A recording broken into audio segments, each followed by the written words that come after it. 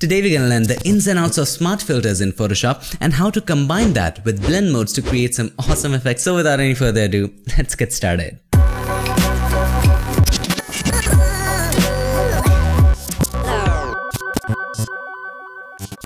So here we are in Photoshop and if you want to use this image, make sure to go ahead and check the links in the description to download the same. Okay, so first off, before you do anything, convert this into a smart object. Why? To apply smart filters and also, if you apply anything, there will be a lot more options. Besides of the fact that it being non-destructive, there will be many more options which you can customize to get some really nice effects. So first of all, let's unlock the background layer by clicking on the lock and then right click on it and choose convert to smart object. And it converts that into a smart object. Then what you need to do, let's go ahead and try converting this to a smart object from a background layer. Let's see whether that does it or not. So if we right click on this, there is no option to convert that, that into a smart object. So you first need to just unlock it and then convert that into a smart object. Just a learning there. Okay, now let's apply some effects. How about a Gaussian blur, filter, blur, Gaussian blur, Okay, that's a normal blur, right? Click OK. But here's the deal. You can just switch it off, switch it on. That's the basic thing. You knew it, right? But here's what's interesting. You can add a mask to it. Click on the mask. Suppose you wanted to erase this area. Just take the brush and maybe paint this area with black. And by the way, what's the concept of mask? Black conceals, white reveals. Black are the areas which doesn't show up, white are the areas which show up, whether that's an effect, a layer or an adjustment layer, whatever that is. So for smart filters, you have a different mask, right? The mask of the layer is different. If I create a mask, that's a different thing. But smart filters have their own mask. That's number one advantage that you get. Now you can just delete it, make sure the foreground color is black, and then just, you can just make this area non blurry and you get the idea. Apart from this, you can do a lot of other interesting stuff. Just click on this. Okay, just double click on this icon on the right hand side of the Gaussian blur and there you'll find the opacity of the effect, right? Think of it like this. You made a copy of this layer, applied Gaussian blur and the opacity of that layer, that's the same opacity right here. So you can decrease the opacity of creating it a soft focus, soft light effect. Okay, that's something you can do. Apart from that, apart from that, which is more interesting, you can change the blend mode to say soft light. Have a look. This gives it a really nice soft contrast. Click OK and have a look at the before and after. So this is the before, this is the after. Gives it a really soft contrast. Double click on the Gaussian blur to select the value. So this is very harsh. You want to make it a little soft. See? Soft contrast effect. Isn't that wonderful? Also recently I've been receiving a lot of requests on how to add a particular kind of texture to your photos. It's also really simple. Let's go ahead and delete the smart filters.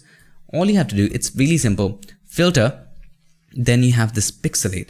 a lot of things that you can do. Let's try say mezzotint and it doesn't look right here but let's just apply maybe long lines, coarse dots, a lot of things, short strokes, long strokes, Okay, so this is how that looks. Let's just click on the minus button.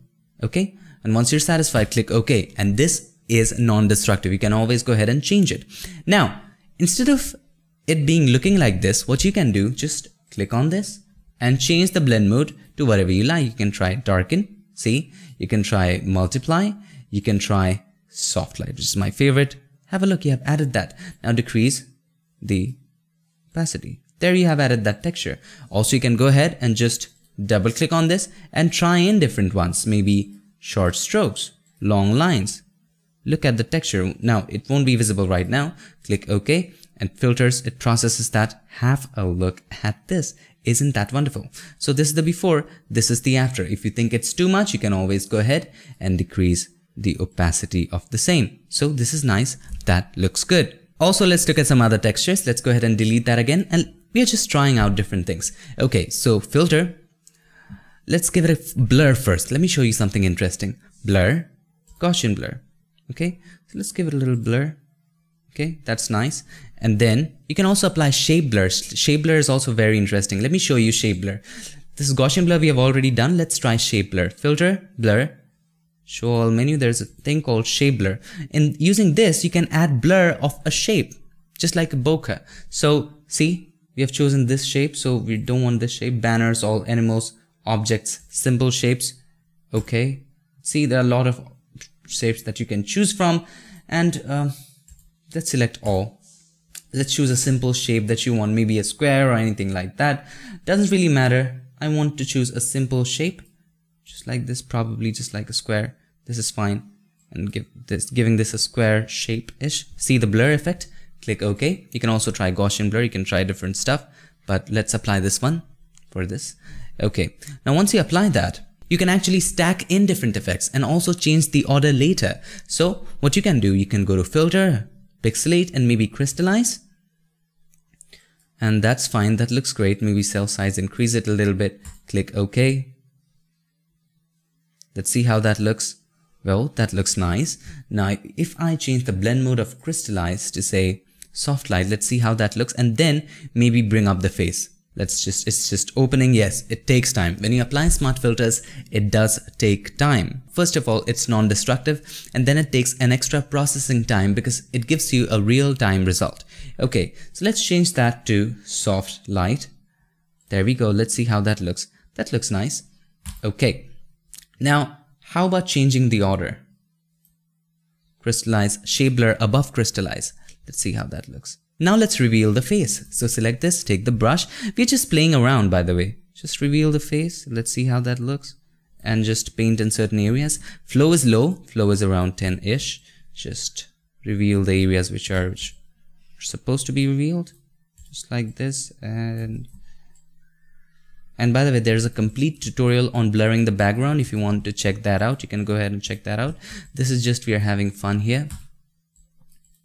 Right? So you can apply certain effects like that. Maybe decrease the blur. This is too much blur. So just go ahead and select the shape blur and decrease it. That's too much. So just double click on the shape blur button and then let's go ahead and decrease the radius to around this number and once you're satisfied click OK. There are a lot of other effects that you can apply by the way. Let me show you some other effects which is going to be fun. So let's go ahead and delete all the smart filters and then go to filter, maybe stylize and then let's try extrude. Now extrude is a really nice effect 30 pixels, it's fine, click OK.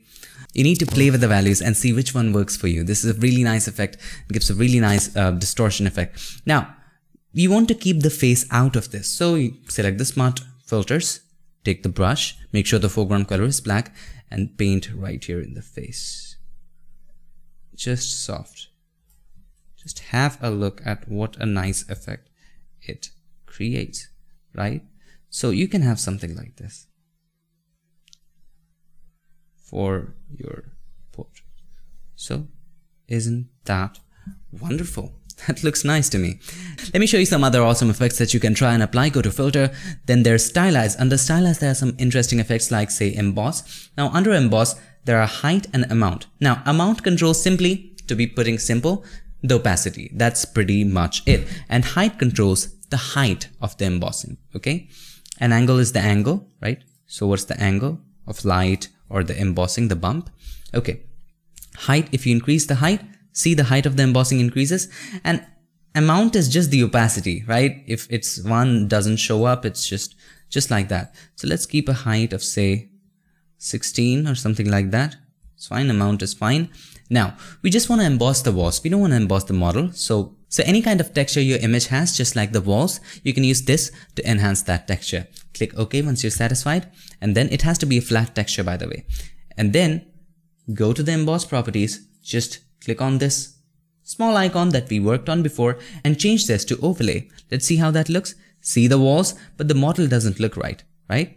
So overlay looks right. How about soft light? That's also good, but overlay was better.